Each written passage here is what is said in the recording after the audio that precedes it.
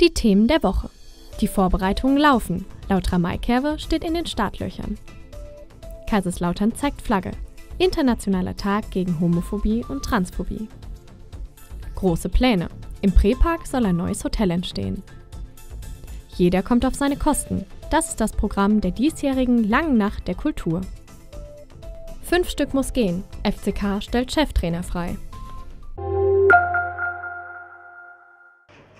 Die Vorbereitungen für die Lautra Maikerwe sind in vollem Gange. Am 20. Mai geht es los und auch in diesem Jahr erwartet das größte Volksfest der Westpfalz zahlreiche Besucher, die dem bunten Treiben auf dem Messeplatz beiwohnen möchten.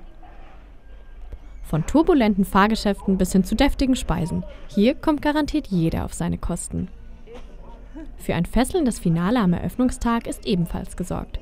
Bestaunen dürfen Kerwe-Gäste gegen 22 Uhr das allzeit beliebte Feuerwerk.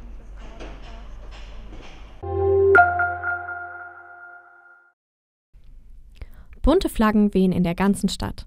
100 Luftballons in allen Farben des Regenbogens steigen vor der Stiftskirche in den Himmel.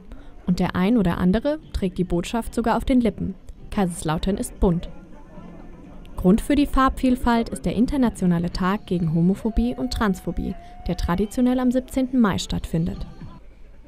An diesem Tag soll auf die Rechte von Homosexuellen auf der ganzen Welt aufmerksam gemacht werden.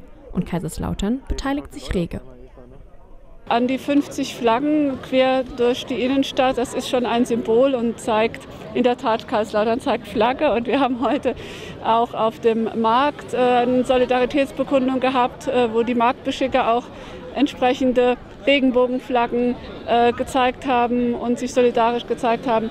Also es ist eine schöne Geste, die damit verbunden ist, die das schöne Programm, das hier gestaltet wird, unterstützt. Viele Vereine zeigten in der Innenstadt Präsenz. Vertreter der Politik und Kirche hielten Reden. Eins wird deutlich. Es wird viel getan gegen Homophobie, aber der Weg bis zum Ziel ist noch weit, vor allem in anderen Ländern.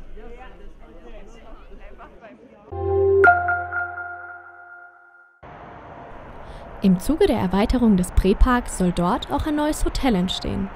Der Komplex soll zwischen Möbel Martin und Montemare gebaut werden. Für bis zu 320 Zimmer wird nach Angaben des Lautra Architekten Platz sein. 120 neue Arbeitsplätze und 20 Ausbildungsstellen sollen dadurch geschaffen werden. Doch nicht nur größentechnisch sollen neue Maßstäbe gesetzt werden. Geplant ist ein sogenanntes grünes Hotel, welches durch Photovoltaik- und Windkraftanlagen in Sachen Energieversorgung weitgehend autark sein wird. Die Pläne sind bereits sehr konkret. Auch Investoren seien bereits gefunden, die 45 Millionen Euro in den Bau des Grünen Hotels investieren wollen. Die Grundstücksverhandlungen sind in vollem Gange. Im besten Fall kann das Hotel bereits im Herbst nächsten Jahres eröffnet werden.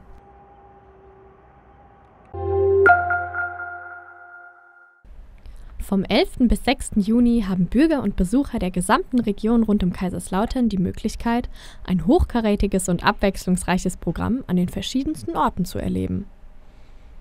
Unter anderem finden die Programmpunkte an den Orten wie der Fruchthalle, dem Pfalztheater, dem SWR-Studio, aber auch in Neuzugängen wie der Friedenskapelle und dem Cotton Club statt.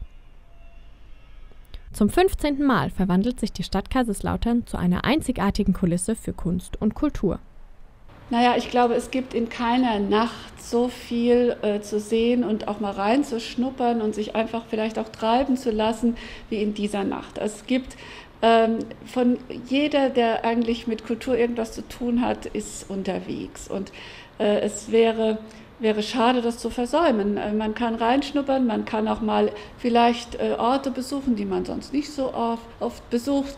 Man kann sich Eindrücke verschaffen und das für wirklich überschaubaren Preis mit den Bändchen überall mal reinschnuppern oder sich wirklich auch mal längere Zeit wo aufhalten. Also es ist, denke ich, für jeden Geschmack was dabei.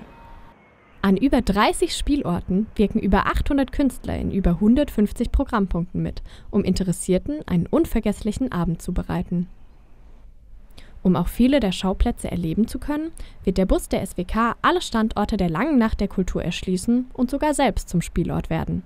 Somit steht einem unvergesslichen Abend im Rahmen der rheinland-pfälzischen Kulturszene nichts mehr im Wege.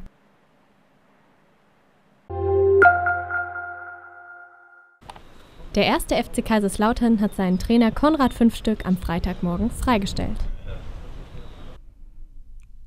Wir haben in den vergangenen Tagen und Wochen viele Gespräche geführt und die Situation mit allen Beteiligten intensiv aufgearbeitet. Am Ende sind wir gemeinsam zu dem Schluss gekommen, dass es im Sinne des Vereins am besten ist, einen Neuanfang zu vollziehen, um die nötige Aufbruchstimmung zu erzeugen. So FCK-Sportdirektor Uwe Stöver. Fünf Stück hatte das Amt des Cheftrainers im September letzten Jahres nach dem Rücktritt von Costa Runjaic übernommen. Nach einer durchwachsenen Leistung konnte der FCK den Klassenerhalt dennoch sichern und steht momentan auf Platz 10 der Tabelle. Wer die Nachfolge von fünf Stück übernehmen wird, ist bisher noch nicht geklärt.